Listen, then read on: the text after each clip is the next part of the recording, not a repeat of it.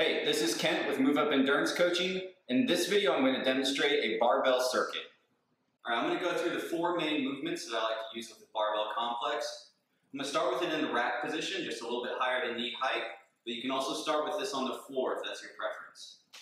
To begin, walk up, get your thighs within an inch or so of the barbell, and then reach down and grab the knurling, that's the grippy part on the barbell, just about shoulder width apart, maybe a touch wider.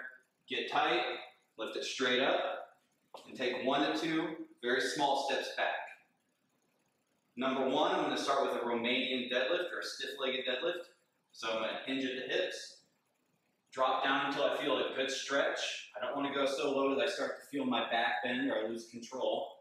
And then return to the start, really squeezing my hips at the top. Come down, feel that stretch, Reverse it. You want to feel this in the hamstrings and the glutes.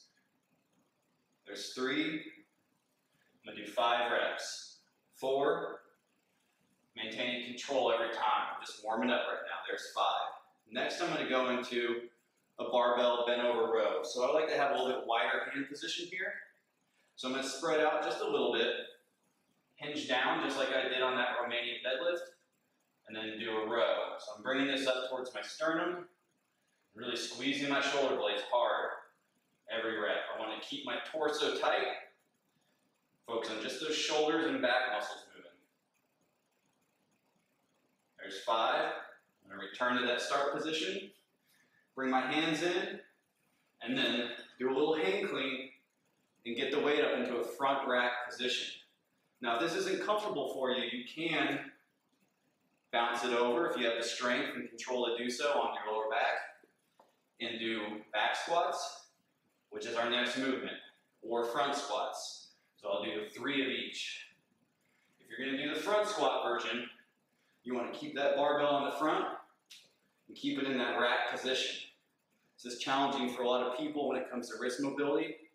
So you can also crisscross right here. It's just a little bit more difficult to get out of it when you're done. So Figure out what's comfortable for you, stick with that. Don't force something if it doesn't work. After your five squats, got a couple more to do, you're gonna jump into a shoulder press.